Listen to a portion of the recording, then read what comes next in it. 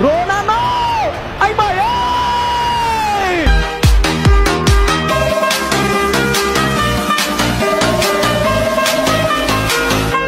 Nơi đây còn vương chúng